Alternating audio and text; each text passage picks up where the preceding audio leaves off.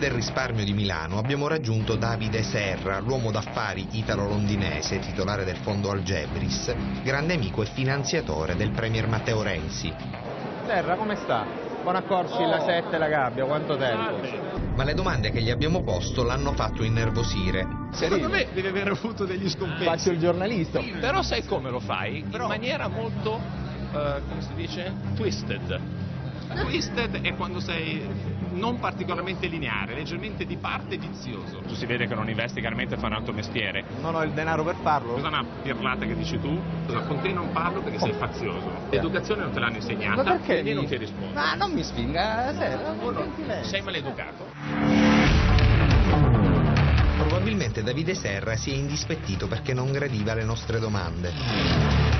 Col suo fondo Algebris, Serra ha infatti deciso di investire 400 milioni di euro sui crediti in sofferenza, detti in gergo finanziario non performing loans. Di che si tratta?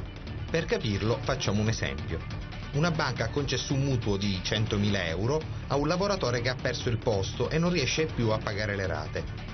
La banca allora vende il suo credito a un fondo speculativo, proprio come quello di Serra, e incassa subito 30.000 euro. Il fondo a quel punto per recuperare il credito può mettere all'asta la casa, ad esempio a 50.000 euro, e intascare la differenza, 20.000 euro.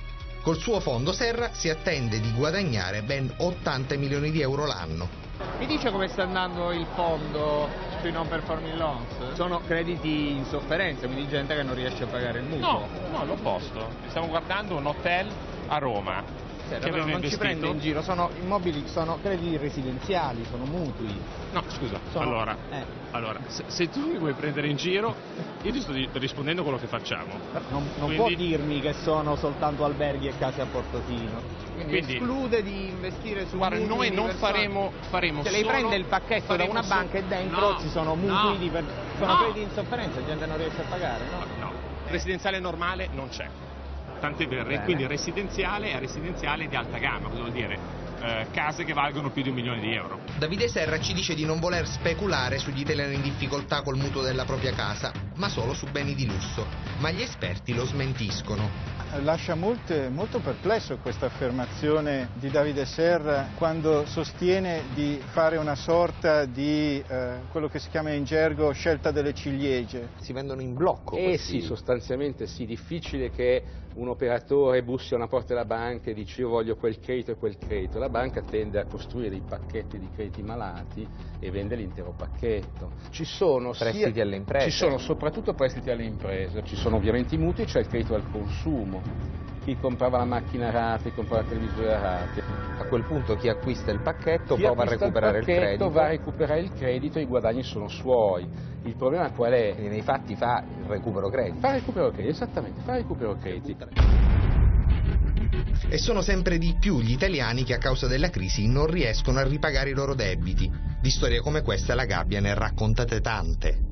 Tu hai, hai lavorato una vita come ho fatto io e poi per quattro rate di mutuo ti mettono all'asta una casa che vale un milione, che va venduta a 200.000 euro, 150.000 euro, tutto mi mettono all'asta. Tutto. Mi hanno pignorato tutto, la casa, Non mi hanno lasciato abita, niente. Per 7.400 euro la casa è andata all'asta. Abbiamo chiesto la sospensione di un anno, come eh, prevedeva la legge Tremonti, ma ci è stata immediatamente negata, non è stata neanche presa in considerazione. Dopodiché ci viene recapitata a casa una lettera eh, dove appunto c'è scritto che la nostra casa è stata iscritta alle aste giudiziarie. Sono loro le vere vittime della finanza, colpite prima dalla crisi e poi da chi specula sulla crisi. Questo meccanismo pompa la finanza speculativa. C'è un po' di ingordigio da parte dei compratori, perché io sono stato a un seminario l'anno scorso pieno di operatori anglosassoni, l'operatore anglosassone ti faceva capire che comprava 10 per recuperare 20, ma se tu recuperi 20 fai un 100% di guadagno. Mi sembra un po' eccessivo con i tempi che corrono.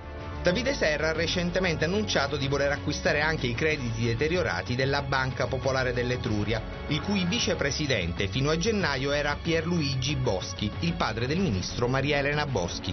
Siamo investiti, l'abbiamo già detto, siamo investiti da, da- La popolare dell'Etruria. di... No, Boschi. no, scusa, con te non parlo perché sei fazioso.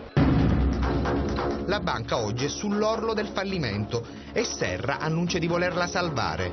È una delle banche messe peggio in questo paese. Quindi sto rispondendo un minimo di educazione. Eh, però So che Banche Popolari, Banca dell'Etruria. L'educazione non te l'hanno insegnata, Ma perché quindi mi- non ti rispondo. Ma non mi spinga, Serra, Sei maleducato.